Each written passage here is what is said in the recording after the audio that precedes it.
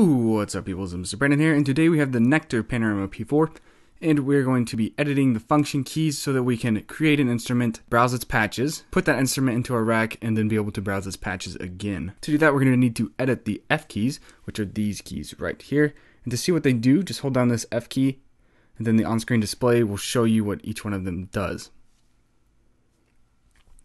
The ones that are going to be changing are redo and save, I chose those because redo isn't something that I use all the time, and save is something I don't mind reaching to my computer to perform because it's not that much of a workflow interruption. So to change those out, we're going to head over to internal and then click on setup and go to control edit.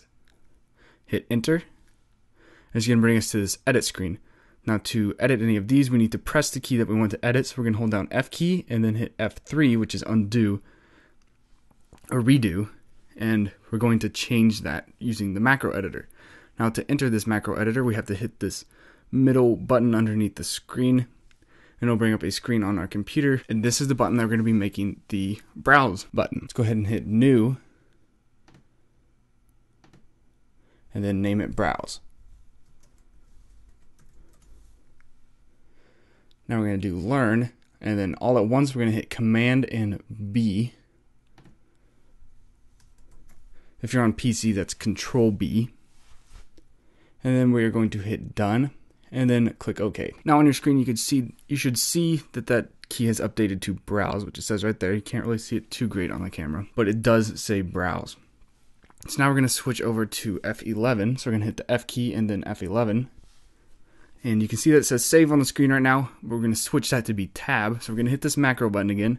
It's going to bring up the editor on our screen and we're going to go to load because there's already a tab preset. I'm going to type in tab at the bottom. We'll bring it up, double click on it, and it'll already load it. Hit OK, and you can see that it is updated to tab. Now, once you've left all of that macro editor, you will need to click on Reason again so it is the active window for these to work. So now we're going to create our instrument. We're going to hold down the F key to bring up that F key screen so that we can see what everything does. And now we're going to hit that F key and then F4, which is labeled click, to bring up the create an instrument. Now we have our patch browser open, and it's also our create an instrument window. If you don't want to use any of the patches that's on the screen, that's where our tab key comes in for use. We're gonna hit this F key and then our the button that we chose tab for, and move the highlighted box over to the location and favorites. This is where we're gonna use the function keys again to navigate through this window hit the F keys, and then use the arrows to navigate to the folder we want to use. We're going to use that folder. Once you've got to the section that you want to open, go ahead and use the F key again and hit tab, which will bring you over to the patch browser selection window. And this is where you can navigate through the patches. Uh, F7 and F8 are your up and down arrows, arrows, and you need to be holding the F key to use them. So scrolling through them, let's just go to a Kong, hit F key and then play, which is enter, to get into that folder. Now we're just going to scroll through these. Once again, once you get into the folder you want, select the patch you want, hit enter, and it will load that device for you and it's ready to go. So now we already have our instrument in the rack. Now say we want to go back and change its patches. This is where we can take the F key and then hit that F3 and it'll bring up our patch browser again. And then once again, we can use our tab to navigate the windows. Once we get to the one we want, select it again, enter it, tab over, select the folder again, and so on.